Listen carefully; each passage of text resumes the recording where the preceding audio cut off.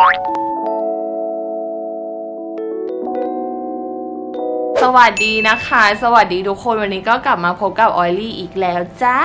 ในวิดีโอนี้นะคะ จริงๆอะตั้งใจจะมาทำคลิปเรื่องเนี้ยมาแบบ นานมากๆแหละ แล้วก็มีถ่ายไว้แล้วก็รู้สึกไม่โอเคก็ไปลบทิ้งแล้วก็เลยเออ แล้วก็จะมาถ่ายใหม่อีกอะไรอย่างนี้ ก็เลยจะมาพูดถึงเรื่องความรักแล้วกันเนาะก็ไม่รู้ว่าจะตั้งชื่อ topic ว่าอะไรเดี๋ยวขอคิดก่อนนะ ก็จะก็เลยแบบจะพูดตอนนี้ไม่ได้ไง ก็เลยเออวันนี้จะมาพูดถึงเรื่องนี้กันนะคะ ก็คือ topic ในเรื่องของความรักเนาะก็จะบอกว่ามันก็ปฏิเสธไม่ได้เนาะในความรักของทุกๆวัยเนาะไม่ว่าจะเป็นอ่ารักพ่อรักแม่หรือว่าความรักกับแฟนความรักกับเพื่อนอะไรใด ๆ ก็ตามนะคะ ทั้งหมดทั้งมวลนี้ก็จะบอกว่าเราอะก็เป็นคนหนึ่งที่ไม่ได้ประสบความสำเร็จในด้านของความรักร้อยเปอร์เซ็นต์เลย มันก็มีดีบ้างไม่ดีบ้าง แล้วก็มีผิดหวังเสียใจมีร้องไห้นั่นก็เป็นคนธรรมดาทั่วไปนะคะ ก็จะมีความผิดหวังกันบ้างเป็นธรรมดาแหละทีเนี้ยก็เลยจะมาพูดถึงเรื่องนี้กันเพราะว่าออยอะก็คือเคยมีคำถามมาจากคนที่แบบรู้จักกันแล้วก็คนรอบๆตัวรอบๆกายของเราอะเนาะเคยมีคำถามมาว่าเออทำยังไงถึงคบกับแฟนได้นานจัง แล้วก็ทำยังไงให้แฟนอะเลิกเจ้าชู้จะบอกว่าคนเราอะบางทีเราไม่สามารถไปเปลี่ยนแปลงใครได้นะ เราไม่สามารถไปเปลี่ยนเขาว่าเฮ้ยคุณต้องเลิกเจ้าชู้นะ ไปเปลี่ยนนิสัยของคนคนหนึ่งได้ว่าง่าย คือจะบอกว่าอันนี้พุ่งตรงนะ Nope คือบางคนน่ะมันเป็นสันดานเป็นสันดานของเขาคือความเจ้าชู้หรือว่าความอะไรก็ตามที่มันรู้สึกว่ามันไม่ดีออยเชื่อในเรื่องของการที่ว่าคนเราสินเสมอกันแล้วก็ไม่ได้เกิดมาเพื่อที่จะอยู่ด้วยกันไม่ได้เกิดมาเพื่อเป็นเนื้อคู่กันสักวันหนึ่งมันก็ต้องเลิกจากกันไปไม่ไม่ว่าจะวิธีใดหรือว่าไม่ว่าจะคบกันนานแค่ไหน ถ้าคนเรามันไม่ได้เกิดมาเป็นเนื้อคู่กัน หรือว่าไม่ได้เกิดมาเพื่อกันและกันแล้วอะยังไงก็ต้องเลิกกันต่อให้ไม่ได้เลิกวันนี้ ต่อให้แต่งงานมีลูกมีเต้ากันไป มันก็ต้องเลิกกันอยู่ดีสักวันหนึ่งซึ่งตรงเนี้ยเราไม่สามารถรู้ได้หรอกว่าคนเนี้ยที่เราคบเนี่ยเฮ้ยเขาคือคนที่แบบเกิดมาเพื่อเรานะเราจะบอกว่ามันก็มันก็ยากนะ การที่เราจะเจอคนคนหนึ่งคือ ก็มีน้องๆที่เอ่อรู้จักกันนั่นแหละแบบเอ้ยพี่ทำยังไงอะพี่ถึงแบบเอ่อทำไมถึงคบกันแบบได้นานขนาดนี้จะบอกว่ามันก็อยู่ที่คนสองคนมันอยู่ที่การที่เราปรับทัศนคติเข้าหากันบางคนอะ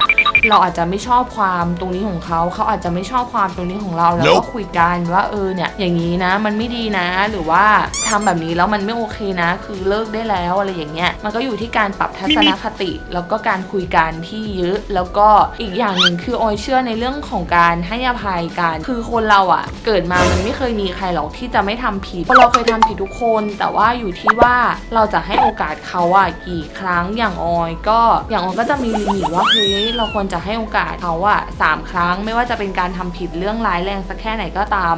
คือถ้ามาร้ายแรงมากๆอะมันก็อาจจะรับไม่ได้ แต่ว่าบางเรื่องเราก็รู้สึกว่าเออ ถ้าเรายังรักกันเราก็ต้องให้อภัย ซึ่งการที่เราให้อภัยกันอะแน่นอนแหละว่ามันต้องเกิดความระแวง ไม่มีใครหรอกโหแฟนไปนอกใจมีกิ๊กมีก๊อกแล้ววันหนึ่งเขาบอกว่าเขากลับมาเหมือนเดิมเขาเลือกเราเขาจะแบบ เออ เขาจะคบกับเราคนเดียวเป็นไปไม่ได้ถ้า ที่จะไม่มีความระแวงอะมันก็มีความระแวงหมดทุกคนนั่นแหละ นึกถึงแก้วที่มันเคยแตกกับทุกคน พอแก้วมันแตกปุ๊บอะเราเป็นคนที่แบบยื่นกาวให้เขาอะเพื่อที่จะให้เขามาทาแก้วที่มันแตกแต่เราอย่าลืมว่าแก้วที่มันแตกไปแล้วอะต่อให้ทากาวได้เนียนขนาดเนี้ยมันก็ยังเหลือร่องรอยของความแตกร้าวอยู่เนอะปะแต่ว่าสิ่งที่เราทำคือเราก็ค่อยๆเติมน้ำเข้าไป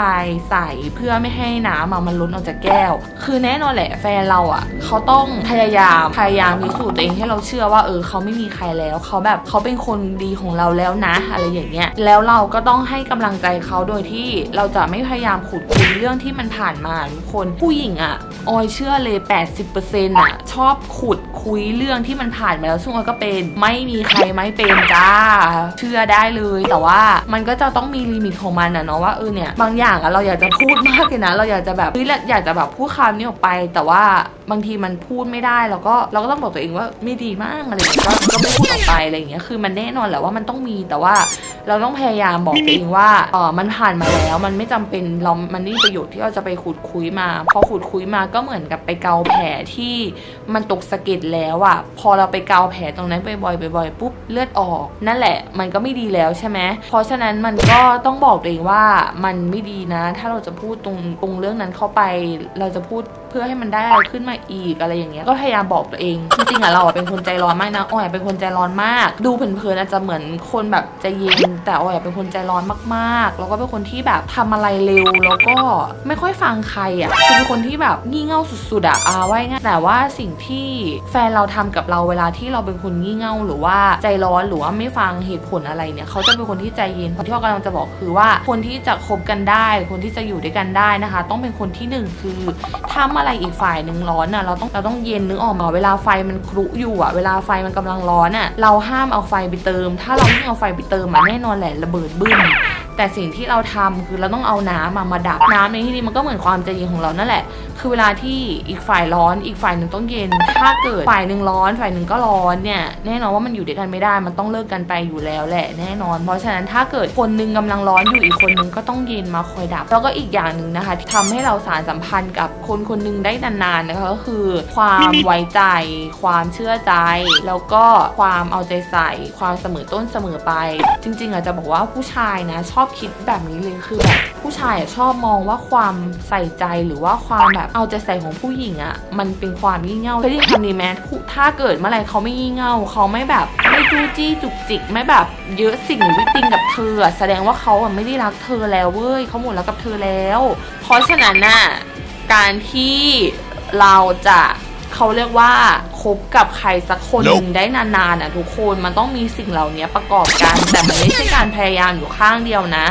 ทั้งคู่ต้องพยายามเข้าหากัน ถ้าคนหนึ่งอะ วิ่งหนีอีกคนวิ่งตามอะแน่นอนว่ามันเหนื่อย คนที่วิ่งตามอะสักวันเขาก็จะหยุดวิ่งเองแหละ เพราะฉะนั้นมันต้องปรับจูนเข้าหากัน มันต้องแบบเออ มันต้องแบบช่วยเหลือกัน คือถ้าเกิดเรารู้สึกว่าเราคบกับใครสักคนหนึ่งแล้วมันบั่นทอนชีวิต บั่นทอนจิตใจ หรือว่าแม้แต่บั่นทอนทุกสิ่งอะ ไม่ได้ชีวิตมันไม่ได้ดีขึ้นมา เราจะรู้สึกว่า จะคบกันเพื่ออะไรอย่างนี้หรอะไหมทุกคนมันออจะบอกว่าคือบางทีก็อยากจะบอกหลาย ๆ คนนะที่แบบเราเราเคยเห็นเราแบบแต่เราก็ไม่สามารถที่จะไปยุ่งกับชีวิตของเขาได้อะไรเงี้ยคือแบบบางทีก็อยากจะบอกว่าเออจะทนไปทำไมวะนึกออกไหมว่า บนโลกเนี้ยโหคนมีตั้งกี่ล้านคนเข้าไปมันจะไม่เจอหรอคนที่ดีสักคนนึงอะอกหักมันก็แค่อกหักนั่นแหละ แต่แค่ต้องรับมืออยู่กับมันให้ได้ Nope แค่นั้นแหละ โอเคนะจ๊ะก็จะมาสอนน้องๆประมาณนี้แหละเนาะเพราะว่าก็จริงๆอะคลิปวิดีโอนี้อยากให้น้องๆที่แบบกำลังรู้สึกว่ามันกำลังแบบอยู่ในวัยเรียนแล้วแบบโฟกัสกับเรื่องความรักอะนึกออกไหมว่าคือโลกมันเปลี่ยนแปลงไปเยอะมากๆเนาะสมัยเนี้ยคือคนฆ่าตัวตายเพราะคนรักก็เยอะ คนเอ่อผู้ชายไปง้อผู้หญิงแล้วผู้หญิงไม่คืนดีก็ไปยิงเขาตายนั้นคุณไม่มีสิทธิ์ที่จะไปทำแบบนี้กับเขาเลยนะ การที่เขาเดินออกมาจากชีวิตคุณอะนั่นมันมันคือการที่คุณต้องไปพิจารณาตัวเองแล้วว่า ฉันบกพร่องตรงไหนแล้วทำไมเขาถึงต้องต้องไปจากเราอะกว่าเขาจะเลี้ยงลูกเขาโตมาได้นึกออกไหมแล้วแบบสตินิดนึงเนาะใช้สติมากๆเลยนะ จะบอกว่าบางทีอะอารมณ์ชั่ววูบมันก็ทำให้ชีวิตเราอะมันแบบพลิกผันไปได้เลยอะคือแบบเออถ้าเกิดละเขาจริงๆอะ ให้เขาไปเจอคนที่ดีสิ เห็นเขามีชีวิตที่ดีนั่นแหละคือการที่เราอะรักเขาจริง ๆ ไม่ใช่ไปทำร้ายเขาแบบนี้ เออ มันก็มีข่าวแบบนี้มาเยอะเนาะออก็เลยอยากจะมาพูดเรื่องเนี้ยจริงๆ อยากเป็นกระบอกเสียงให้หลาย ๆ คน อยากจะให้เรื่องเนี้ยมัน ดังออกไปให้ถึงหูกับน้องๆที่กำลังเรียนอยู่ จะบอกว่าคือไม่อยากพลาดพิง แต่ว่ามันก็เออมันก็ดีนึงอะเนาะคือถึงเวลามันก็จะมีเข้ามาเองแหละความรักมันไม่ต้องขนขวายหรอกไม่ต้องขวายไม่ต้องขนขวายไม่ต้องขวายคว้าไม่ไม่ใช่ไม่ต้องขวายคว้า เออไม่ต้องขนขวายนั่นแหละ เดี๋ยวถึงเวลามันก็มีเข้ามาเองแหละ เพราะถ้าเมื่อไรที่เราแบบโตขึ้นมาแล้วนะ เราจะรู้สึกว่าชีวิตเราตอนนี้แม่งไม่ควรโฟกัสกับความรักเว้ย ควรจะโฟกัสกับเงินนึกออกไหมเมื่อไรมีเงินน่ะ มันก็มีคนดีๆ เข้ามาเองนั่นแหละแกจริง ๆ ผู้ชายชอบผู้หญิงเก่ง ชอบผู้หญิงขยันฉะนั้นนะเพราะเมื่อไรที่เราสวยเรารวยเราเก่ง เมื่อนั้นแหละ มันก็จะมีคนดีๆเข้ามาหาเราเองแหละ อันนี้ไม่นับรวมผู้ชายที่เข้ามาเพื่อจะหวังกอบโกยนะเอาจริงแกดูออกนั่นแหละนะคะทุกคนทั้งหมดทั้งมวลที่พูดมานี้นะคะ ก็คือเป็นปัจจัยคือเป็นแนวคิดมันก็ไม่ใช่แนวคิดหรอกแต่ว่าเป็นข้อคิดก็ไม่ใช่จะเป็นแบบว่าเออเพื่อนคุยกับเพื่อนแล้วกันเนาะก็สักวันหนึ่งอะมันก็จะมีคนดีๆเข้ามาหาเราเองแหละทุกคนเราไม่จำเป็นต้องขวอยคว้ามันอยู่ดีๆเดี๋ยวมันก็จะวิ่งเข้ามาหาเราเองแหละความรักเมื่อถึงเวลาเนาะโอเคสำหรับคลิปนี้นะจ๊ะก็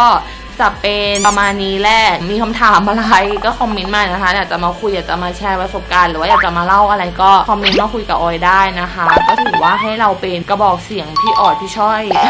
พี่ออยพี่ชอยก็มีอะไรก็เข้ามาคุยกันได้นะคะสำหรับคลิปนี้ก็ต้องขอตัวไปแล้วนะ เพราะว่าสู้เสียงข้างหลังไม่ไหวจริงจริงๆ Nope โอเคนะจ๊ะสำหรับคลิปวิดีโอนี้ก็ต้องขอตัวไปแล้วนะคะ ทุกคน สวัสดีค่ะ บ๊ายบาย